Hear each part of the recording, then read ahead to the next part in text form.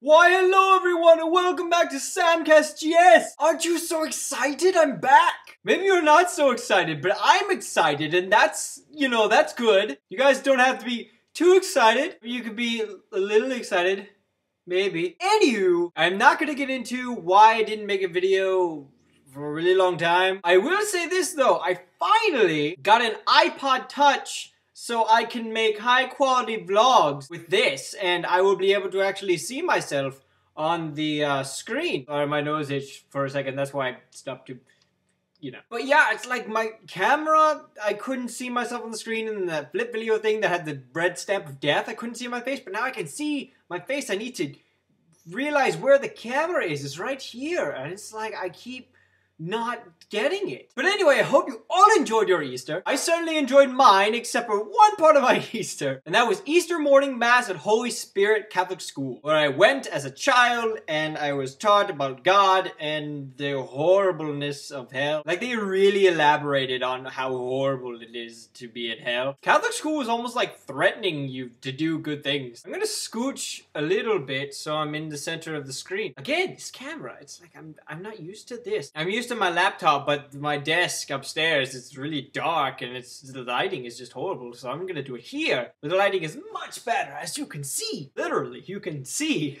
Get it? Get it? Uh, never mind. But anyway, we went to Easter morning mass. We get to the part where it's time for communion. Actually, first of all, one of the things I didn't like about it is because the church was packed. So we and about like 40 other people were just lined up against the wall. So we just had to stand the entire time, the entire like hour that this thing was going on. But that's not the best slash worst part. We got to communion and they have those little wafers and the wine, but I never take the wine because it's just. That and they have like this little towel that they just kind of just barely kind of wipe the edge of the glass. Like they're not even cleaning it. They're just kind of.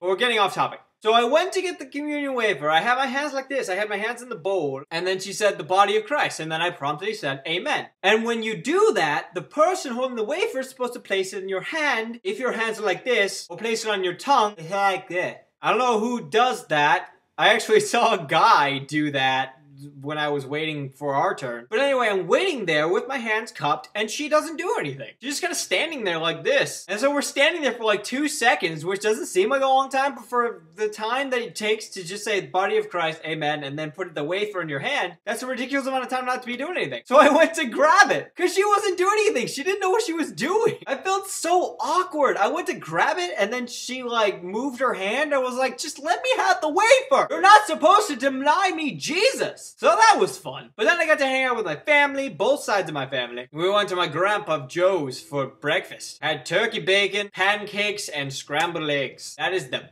best breakfast. For me at least. I'm not gonna make assumptions about the rest of the world because uh, again, as I stated in a video a while back, I don't know really anything outside of this general area. I can't speak for everyone in the world because I am me and you guys are you guys. And now I'm talking about this like I'm actually going somewhere with it, but I'm not going somewhere with it. I'm just kind of talking and it's not really going anywhere. So I'm going to stop talking about this. After breakfast, we went to my Aunt Amy's house and we met up with all my father's side of the family. We had a grand old time. I was wearing this really bright pink shirt. My brother Patrick was wearing a really clear blue shirt. And then my uncle Alan was wearing a very purple shirt. And then my cousin Allie was wearing a very red dress. So we were like the Easter eggs of the Strand Easter celebration. It was fantastic. So anyway, that should just about do it. Feel free to subscribe. There's a link to my channel in the description as always. Also, feel free to leave a comment in the comment box about your Easter celebration. And I'm gonna get back to making videos. I promise. And I'm gonna start making vlogs with my new iPod, which is gonna be great. I'm gonna try and make a vlog tomorrow. But if I don't see you tomorrow, thanks for tuning in and I will see you all on Wednesday.